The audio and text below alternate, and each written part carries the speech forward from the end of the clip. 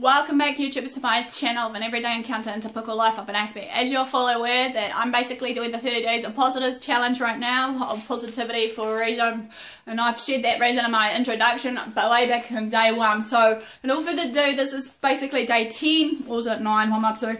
No. Yeah, 10 that basically of my journal blog of the 30 day challenge pretty much um so not fully than do though however you know bear with me. I want to just, you know, share, hopefully, despite my bad days, sifting those out and hopefully finding some of the positive through that day, regardless. Okay, this is day 10, as I said, which is dated 28th of July. Pretty much had a good day so far. It's getting to know more of the girls in the class that I've been split into, you know, in groups or what have you. You know, um, Yes, being part-time, part, a part-time student at the moment, it may have its disadvantages despite that many, many of the girls have been challenging me, you know, what classes I've done, what I've, classes I've passed and stuff, you know. If they were watching my channel at this moment of time, however, or they aren't, you know, I'm hoping maybe that if they want me still to get involved, which is good, fine with me because as they notice that sometimes I'm just like being by myself, you know, even though my dad thinks I'm a little sad, I maybe or something, or a little hermit, we could call it. Thanks, Dad. I'm just that brings a smile to my face. A hermit. Yeah, mate. I can be a hermit in my own little shell or cocoon, but you know, that's just how I roll. You know, I'm just the kind of girl that will do this. But hey, um, if they need me or want to talk to me or anyone else for that matter that I try to socialise in Yuko, just just give me a nudge or just message me on Facebook, you know, hey Kerrin, since I haven't seen you this morning, you know, how about you come in and we have a catch up for coffee or something, you know, it'd be nice now and again just to be, like I said, included, you know.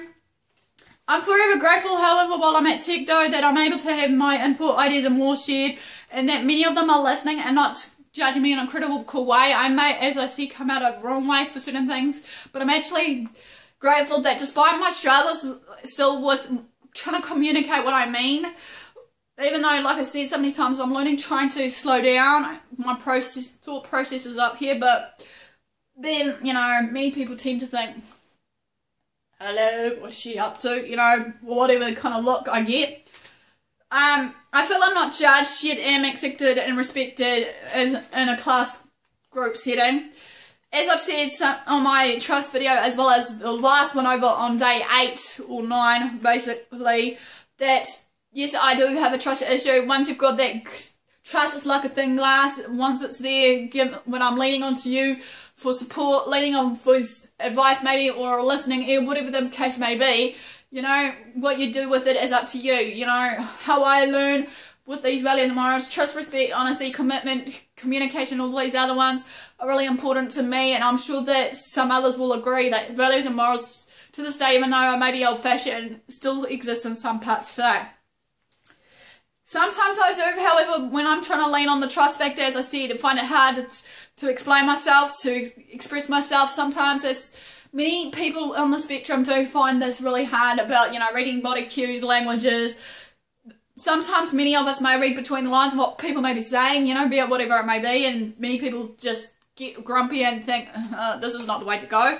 But that's alright, you know. Um, sometimes I find it hard to say what's on my mind and heart. Sometimes, even though, yes, I'm a kind little person to the point that, you know, people may try to break me in a point, you know, or whatever it may be, and then sometimes also at that point of time, it's a sometimes I feel really, really, really sick and cold and all that, and the physical, mental state, physical, that you know, it's the maybe we could call it a fear factor, even though I don't want to say it, but it could be a fear factor of maybe what that's gonna come next out of the person that I'm socializing with, be it laughing at me, being that I'm not worth anything or not, but you know. Um, but as I've come to learn now that with these girls in my class, they are my support network while in in the classroom setting. I have many support networks in other settings, however, be it, you know, as I said before, I've got some support networks in some groups that I'm involved in on Facebook, on the autistic community. I've got some support back at home with my family, sort of thing. I've got some support networks going on with maybe a few acquaintances I could call, and also a few support networks at the moment while I'm under the jurisdiction of basically, you know, uh, organisation, which is good. But then again, I'm just hoping to touch base with them again. And also, my, one of my past employers, I don't know if he's been watching these videos, but um, he's been supporting me through and through, and I'm actually kind of blessed that he's still in my circle, regardless, reaching out and stuff. You know, even though. You know, I feel like he's almost like classified as a family friend of support, so to speak.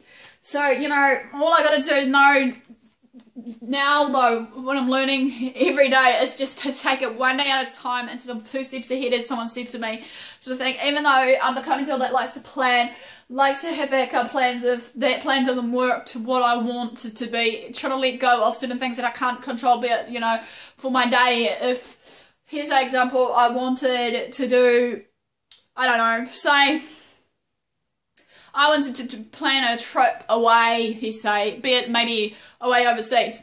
And it didn't happen due to certain factors, be it, you know, looking and researching the cost, the time difference and everything else. But then again, you know, if all else fails, then so be it. But anyway, before I blabber on and run out of time, thanks for watching and your support, guys, so far through this journey for my all my channels, not just the 30 days of positives. Please like, comment, subscribe, you know, share the videos, you know the drill, you know.